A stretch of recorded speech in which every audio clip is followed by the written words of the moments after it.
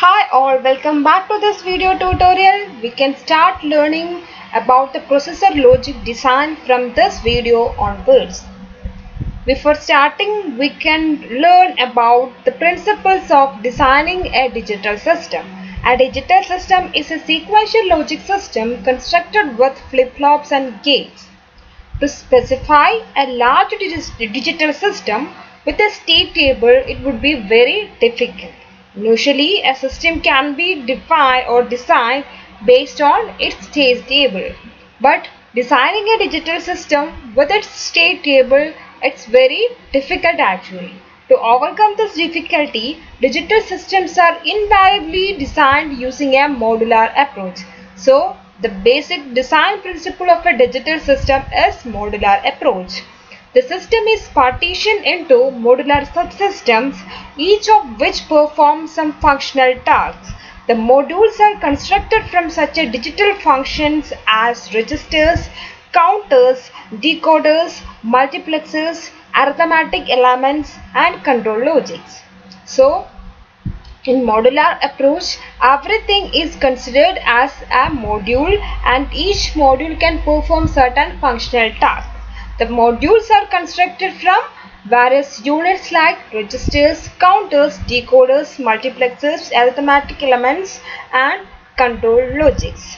The various modules are interconnected with common data and control path to form a digital computer system. So how can we design or develop or implement a digital computer system? For designing a digital computer or developing a digital computer system, various modules are interconnected with common data and control paths. So these interconnection units are known as common bus. To describe a digital system in terms of functions such as adders, decoders and registers, it is necessary to employ a higher level mathematical notation. For describing the digital system, uh, we have already said that digital system consists of certain modules and modules are implemented using adders, decoders, counters, etc. To describe the digital system in terms of functions such as adders, uh, decoders and registers, it is necessary to employ a higher level mathematical notation. The register transfer logic method fulfills this requirement. So we have a register transfer logic method in which we can specify the mathematical notation for the digital systems functionalities like adders, decoders and register transfer etc. So here we have this register transfer logic to describe the digital system functionality properly. In this method, registers are selected to be the primitive components in the digital system. So in case of register transfer logic, based on this register transfer logic principle, the digital system, the basic uh, building uh, unit of a digital system is considered as the registers. That means everything, everything inside this digital system is developed based on registers. Okay, and every storage spaces are considered as register unit here. The basic operations of a digital system is best described by specifying the set of registers in the system and their functions.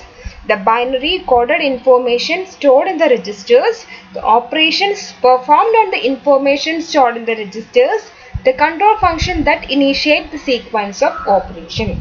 So, in order to specify the functionality or operations of a digital system, here we have this register transfer logic and in which we um, specify, we can specify the functionality using uh, registers. The set of register in the system and the functionalities used for specifying the operations of digital system and uh, we also want uh, want binary coded information we also want to consider the binary coded information stored in the register unit and operation performed on the information stored in the registers and the control functionalities that initiate uh, the sequencing of operations. So, in order to specify the operations of a digital system, we need to consider the set of registers used and the binary coding information stored inside the registers and the various arithmetic and logical operations performed on the content of registers and the various control functionalities used for sequencing the various set of operations. Okay, so here we have this register transfer logic. Now we can consider or move into the basic principles of this register transfer logic. Okay, so register transfer logic. A register encompasses all type of registers such as shift registers, counters and memory units. Register means or register in register transfer logic, a register encompasses all types of registers such as a shift register, counters, memory unit, decoders, etc. A counter is considered to be a register. Its function is to increment by 1 the information stored within it. So counter is considered as a register and its functionality is defined as the increment of the content of register by 1. And memory unit. Memory unit is a collection of storage registers where information can be stored and the stored informations are in binary format.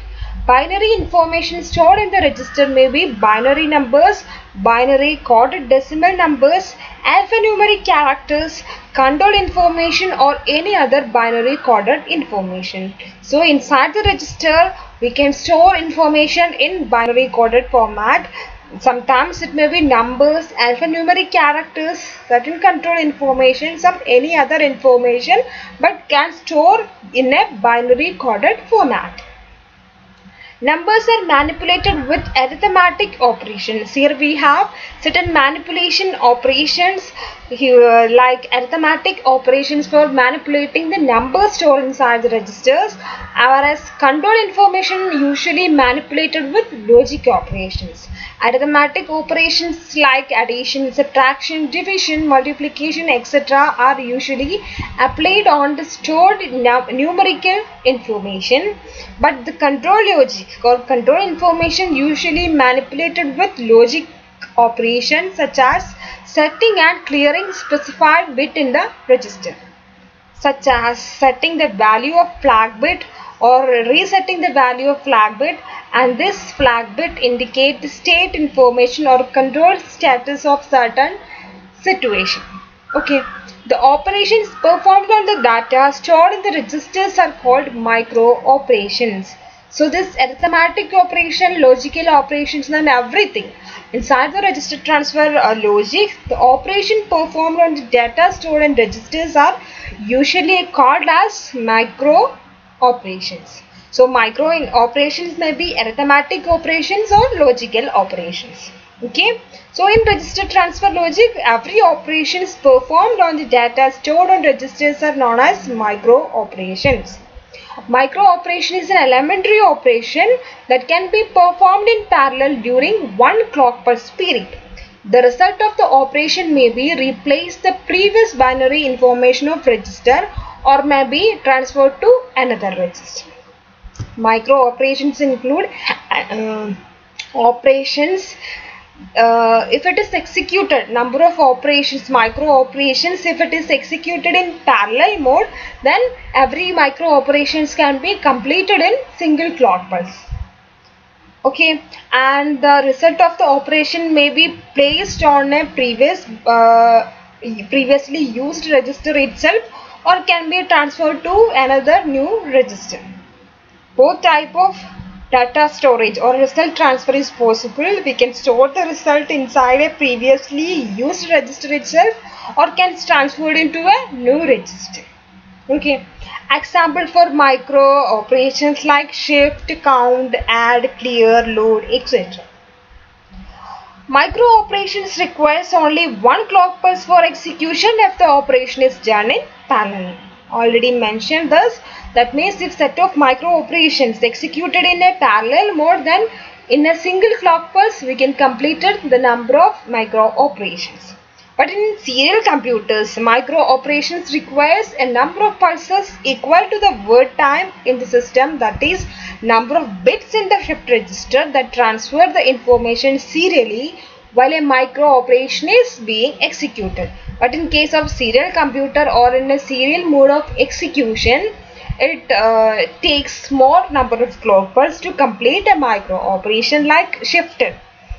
In case of shifter, we want to shift uh, the different bits stored in the register, shift register.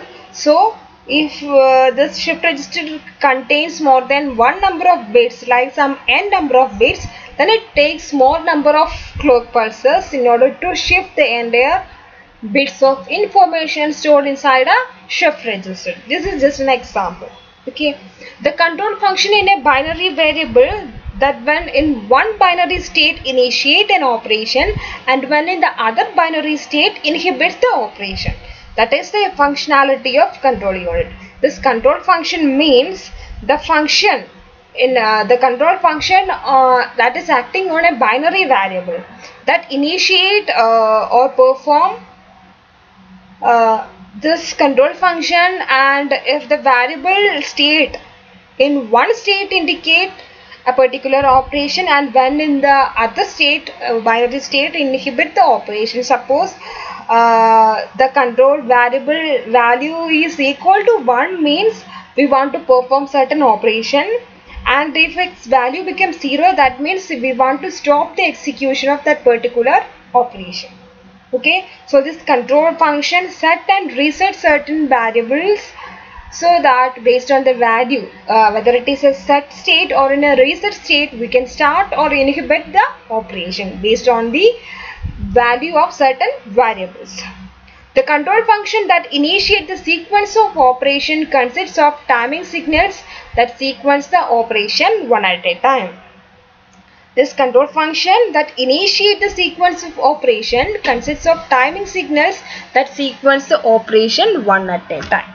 Okay is uh, this control function used for sequencing a set of operation so that this control function uh, start the execution of one operation at a time and inhibit all others that means it support sequencing of different operations register transfer language or computer hardware description language register transfer language or computer hardware description language.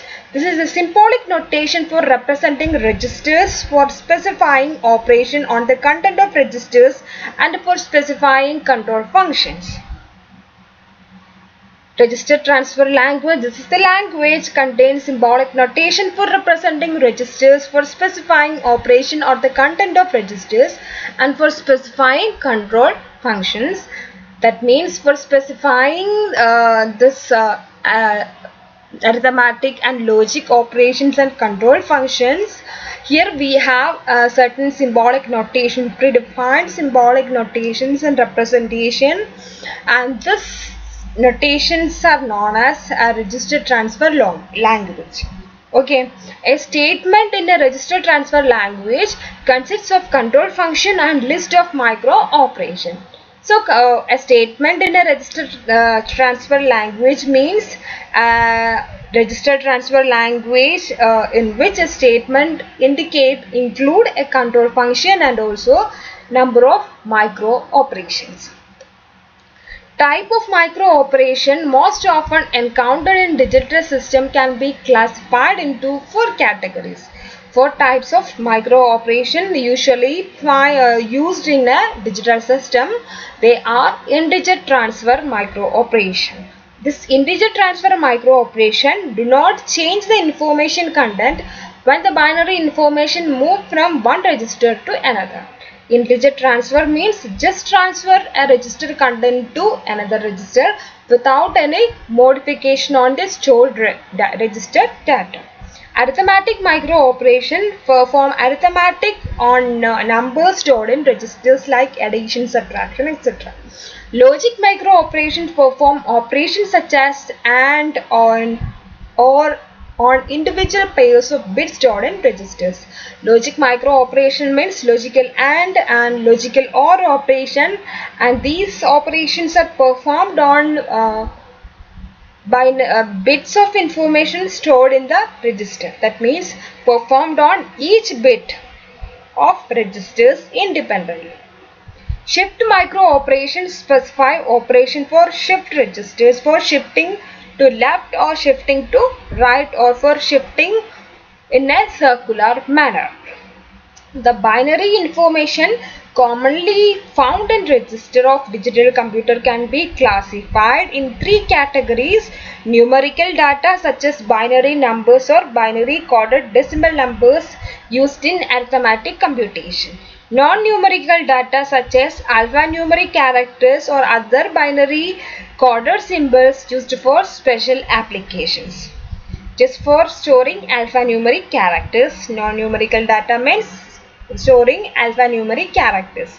Instruction codes, address and other control information used to specify the data processing requirements in the system.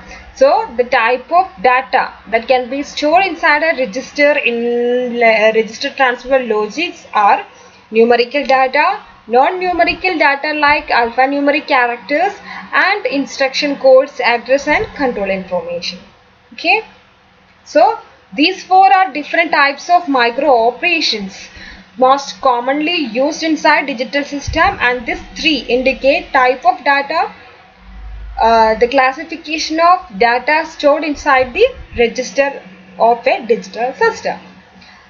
Next is about the integer register transfer operation, micro operation, integer register transfer operation.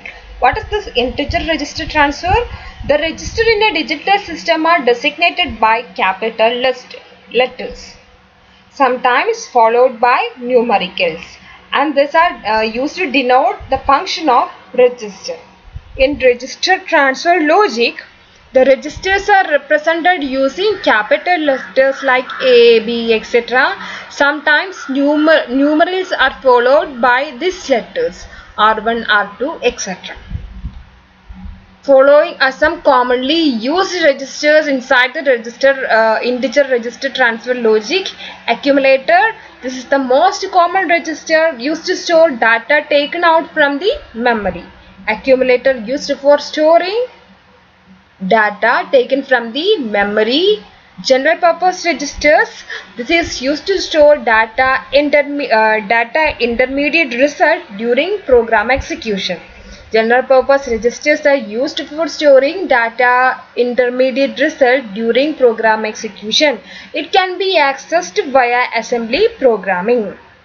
Special purpose registers users do not access these registers. Special purpose registers are not used by the users. These registers are for computer system only. MAR. This is a special purpose register. We have already discussed about this MAR, MBR, PC, IR, etc. MAR means memory address registers and these are not used by the users and these registers that hold the address for memory unit and these MAR register content are accessed by the system only. MBR memory buffer register store the instruction and data received from the memory and sent from the memory. Sorry, received from the memory, this MBR is sent to the, sorry, sent to the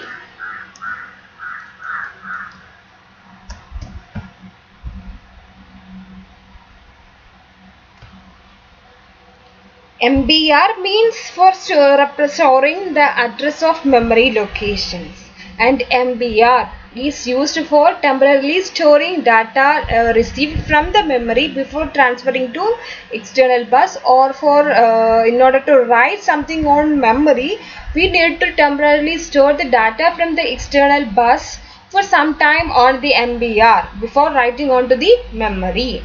And this program counter we all know about this program counter. This program counter point to the next instruction to be executed currently executing one instruction. During that time, this program counter holds the address of the next instruction to be executed.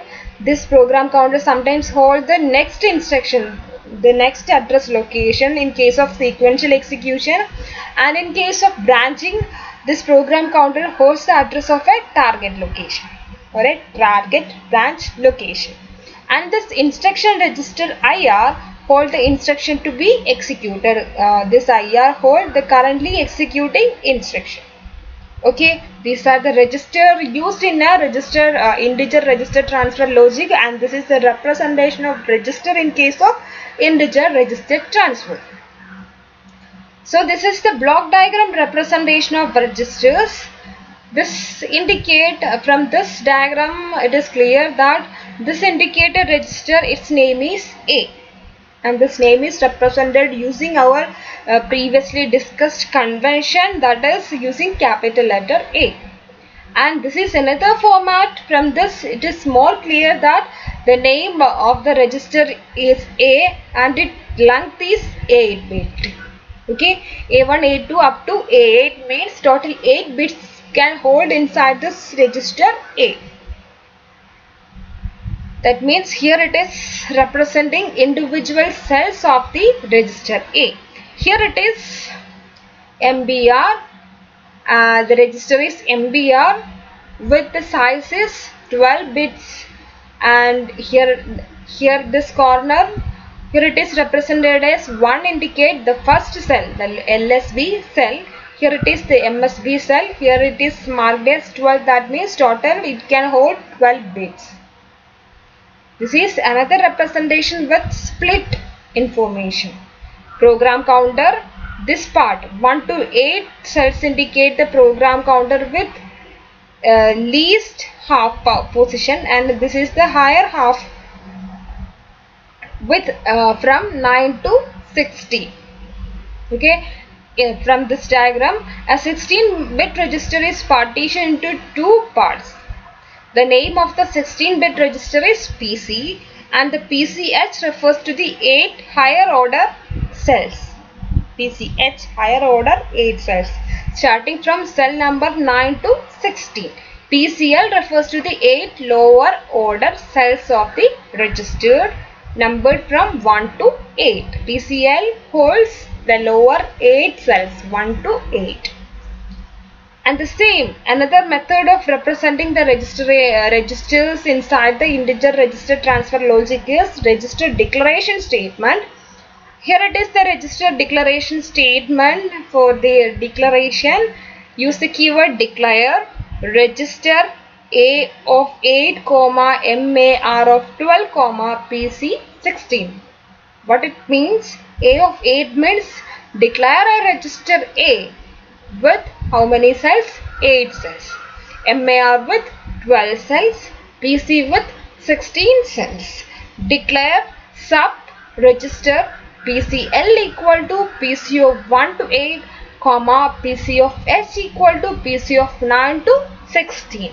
This sub register declaration statement actually indicate this block diagram.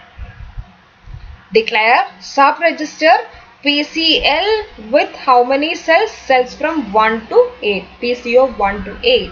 Comma PCH means PC of 9 to 16.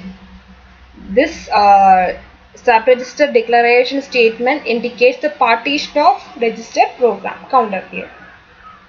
Next is the register transfer logic information transfer from one register to another is designated in symbolic form by means of replacement operator.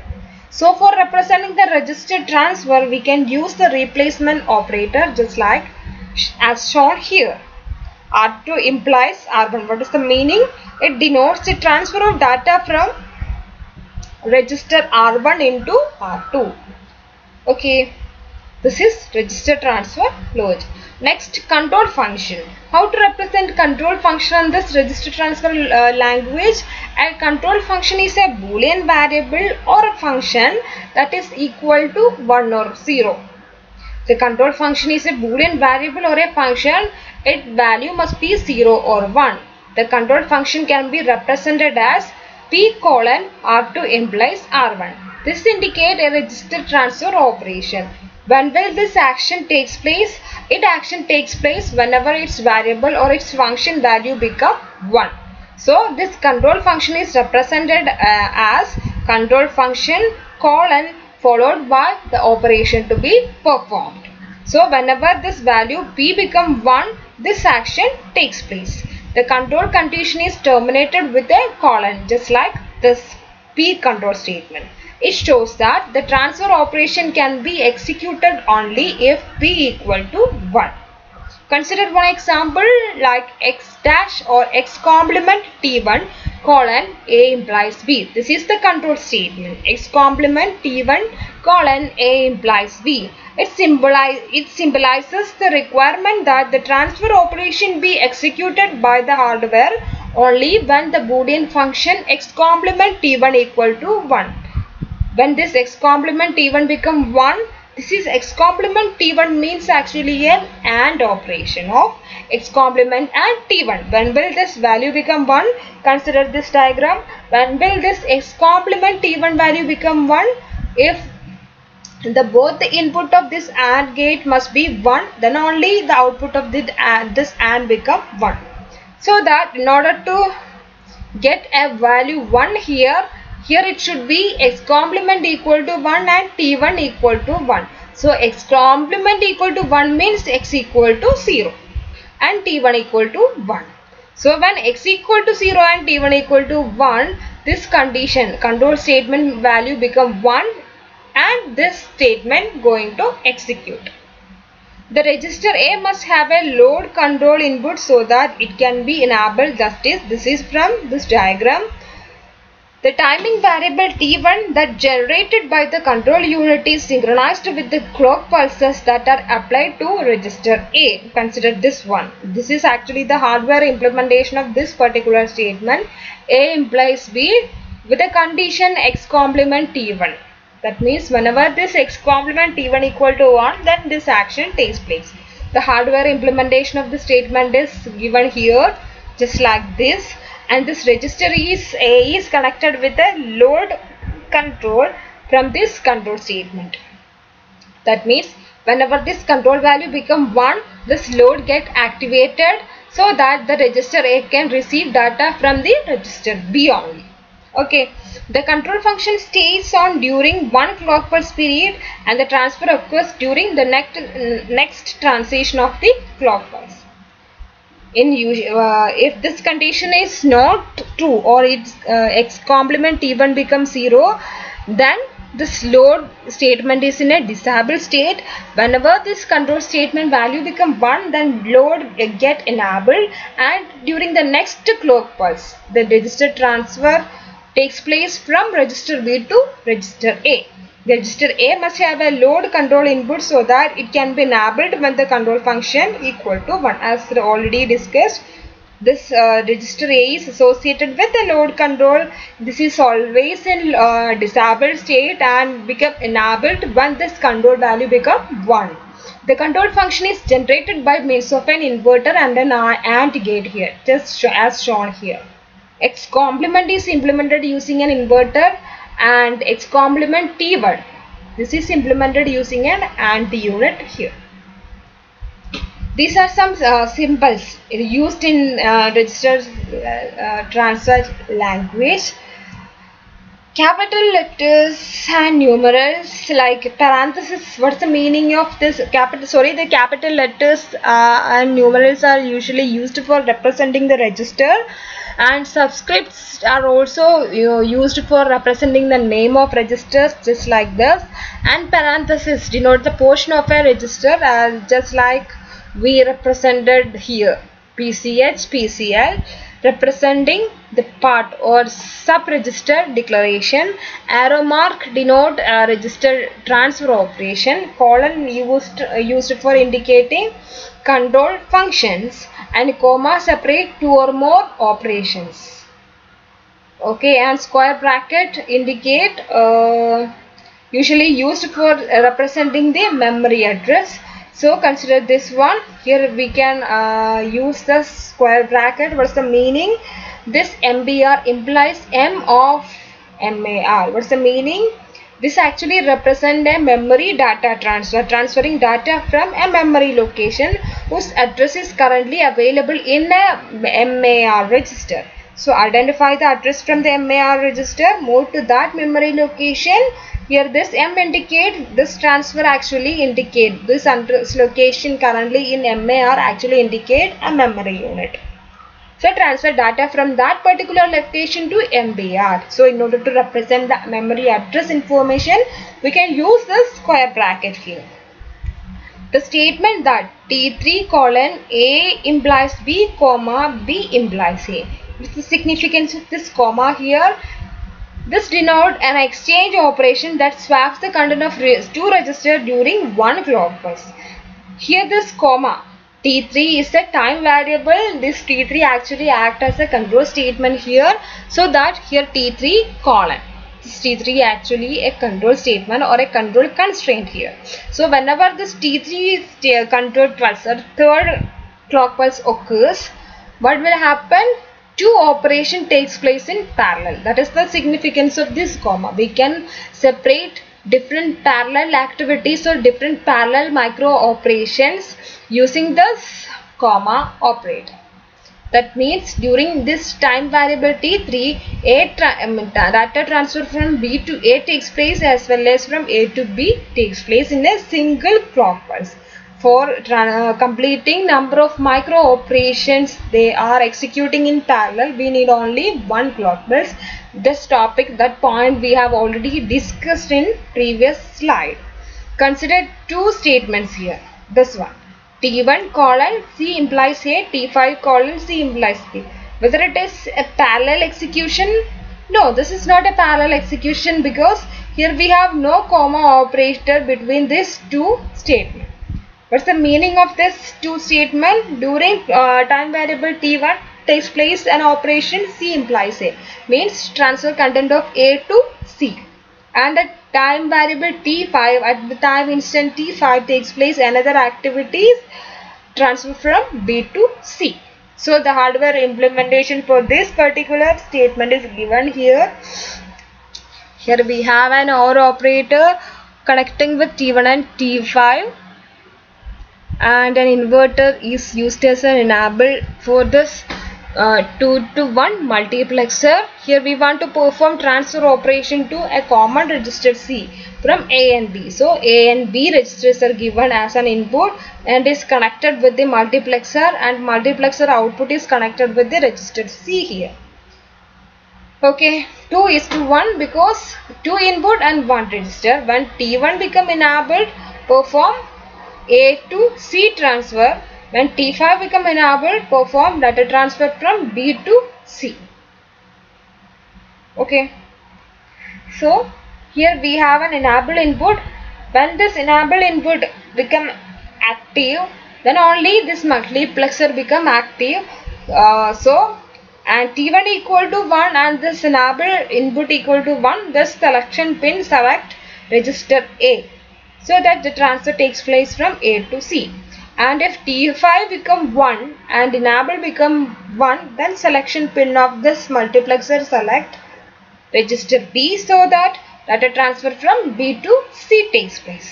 So this enable uh, input should be active in order to make this multiplexer active. If this may, uh, multiplexer is active and T1 become active then which operation takes place? The transfer from, from A to C takes place.